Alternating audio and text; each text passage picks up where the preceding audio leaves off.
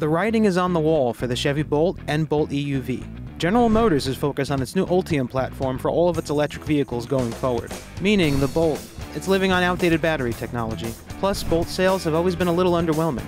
Americans just don't seem to have much interest in compact electric hatchbacks. The Bolt also faced some pretty major problems with those thermal runaway issues. In other words, battery fires. Nearly 20 bolts caught fire, leading GM to recall every bolt it ever made. GM shifted much of the blame for those fires onto its battery supplier LG. Now it seems like the Bolt is headed for the end of the road. Chevy's vice president of marketing hinted that the Bolt won't be around forever in an interview with the Detroit Free Press.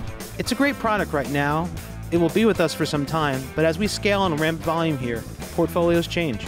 With electric versions of the Blazer, Silverado, and Equinox coming soon, Chevy will have plenty of battery powered models to fill the gap left by the Bolt's departure. But until that happens, GM is slashing prices on the Bolt and Bolt EUV, making it the cheapest new electric vehicle you can buy in America. For more EV news, check out jalopnik.com.